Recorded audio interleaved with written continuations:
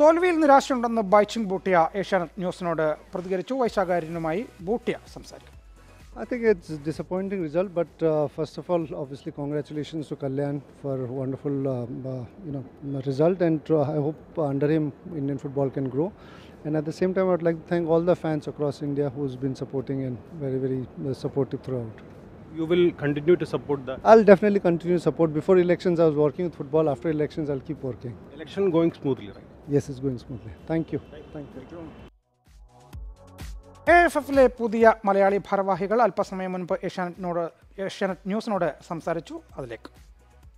All India football ഫെഡറേഷനിലേക്കുള്ള തെരഞ്ഞെടുപ്പ് നടപടികൾ പൂർത്തിയായി. ഈ കാണുന്നതാണ് പുതിയ പ്രസിഡന്റും വൈസ് പ്രസിഡന്റും അടക്കമുള്ളവർ. ഔദ്യോഗിക പാനൽ തന്നെയാണ് പൂർണമായും വിജയിച്ചത്. ബി ജെ പി പിന്തുണ അടക്കം ഉണ്ട് എന്ന് നേരത്തെ തന്നെ റിപ്പോർട്ടുകൾ വന്ന കല്യാൺ ചൗബയെ പ്രസിഡന്റായിട്ടും അതുപോലെ തന്നെ മലയാളിയും കാസർഗോഡ് സ്വദേശിയും ബാംഗ്ലൂർ നഗര എം എൽ എയുമായിട്ടുള്ള എൻ എ ഹാരിസ് ആണ് വൈസ് പ്രസിഡന്റ് സ്ഥാനത്തേക്ക് വിജയിച്ചത്. അജയ് കബിയാണ് ട്രഷറർ സ്ഥാനത്തേക്ക് വിജയിച്ചത്. എൻ എ ഹാരിസ് നമ്മളോടൊപ്പം ചേരുന്നുണ്ട്. ഒരു വളരെ നിർണായകമായിട്ടുള്ള ഒരു സാഹചര്യത്തിലൂടെ ഇന്ത്യൻ ഫുട്ബോൾ കടന്നു പോകുമ്പോൾ താങ്കളെപ്പോലുള്ള ഒരു പുതിയ നേതൃത്വം ചുമതലയിലേക്ക് വരികയാണ്. എന്താണ് ഞങ്ങൾ പ്രതീക്ഷിച്ചത് തീർച്ചയായിട്ടും ഇന്ത്യൻ ഫുട്ബോൾ ഹിസ്റ്ററിയിൽ ഒരു പുതിയൊരു തുടക്കമായിരിക്കും. സ്റ്റേറ്റ് ബോഡികളെ ഞങ്ങൾ ഒരുപാട് ഓൾ ഇന്ത്യ ഫെഡറേഷൻ സഹായിക്കും. അവിടുന്ന് നല്ല ഫുട്ബോൾ പ്ലെയേഴ്സിനുള്ള ഒരുപാട് നല്ല പ്രോഗ്രാംസ് വരും. തീർച്ചയായിട്ടും ഇന്ത്യ ഈസ് വെരി പൊട്ടൻഷ്യൽ നൂറ്റി നാൽപ്പത് കോടി പോപ്പുലേഷനാണ് നമ്മൾ ഏത് ഇതിലും നമ്മൾക്ക് ഒരുപാട് പ്ലെയേഴ്സിനെ ഉണ്ടാക്കാൻ പറ്റും. പക്ഷെ അതിനുള്ള സ്കോപ്പ് നമ്മൾ ഇതുവരെ അതിനെ എൻകാഷ് ചെയ്തില്ല. I am sure now it will be possible എന്നോടൊപ്പം ഫുട്ബോൾ ഫെഡറേഷനിലെ മലയാളി സാന്നിധ്യങ്ങളാണ്. നോമിനേറ്റഡ് അംഗമായിട്ട് എക്കാലത്തെയും മലയാളികളുടെ അഭിമാനമായിട്ടുള്ള എം. വിജയൻ സാറുണ്ട്. അതുപോലെ തന്നെ ഡൽഹി ഫുട്ബോൾ അസോസിയേഷന്റെ പ്രസിഡന്റ് ഷാജി പ്രഭാകർ കേരള ഫുട്ബോൾ അസോസിയേഷന്റെ പ്രസിഡന്റ് അനിൽകുമാർ സാർ. ഏത് രീതിയിലാണ് നമ്മളുടെ ഒരു പ്രതീക്ഷ ഇനി?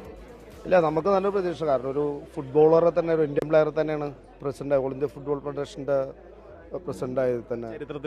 ചരിത്രത്തിൽ ആദ്യമായിട്ടാണ്. പിന്നെ അതേപോലെ തന്നെ നമ്മുടെ മലയാളി ഷാജി പ്രഭാകറുണ്ട് സെക്രട്ടറി ആയിട്ട് അനിലുണ്ട് നമുക്ക് നമുക്ക് സംബന്ധിച്ച് വലിയൊരു ഭാഗ്യമാണ്. ആദ്യമായിട്ടാണ് ഓൾ ഇന്ത്യ ഫുട്ബോൾ ഫെഡറേഷന്റെ ഒരു സ്ഥാനം ചെറുതായിട്ടൊരു ഇത്രയും കളിച്ചാൽ ഇപ്പോഴാണ് ഒരു വാല്യൂ കിട്ടിയത്. അത് തന്നെ വലിയൊരു ഭാഗ്യമാണ്. ഈ കമ്മിറ്റി ഈ ഇപ്പോഴത്തെ എടുത്ത കമ്മിറ്റിയോട് വളരെ നന്ദിയുണ്ട്. കാരണം നമ്മളെ കയ്യിൽ കൺസൾട്ട് ചെയ്ത് തന്നെ ഭയങ്കര സന്തോഷം. ഫുട്ബോളിന്റെ ഒരു നല്ല കാലം വരാൻ പോവാന്ന് അത്രേ പറയാം. പിന്നെ നല്ലൊരു ടീമാണ് ഇപ്പം മുപ്പത്തി നാല് അംഗങ്ങളിൽ മുപ്പത്തി മൂന്ന് വോട്ടും ഈ കല്യാൺ ശോഭയ്ക്കാണ് കിട്ടിയത്.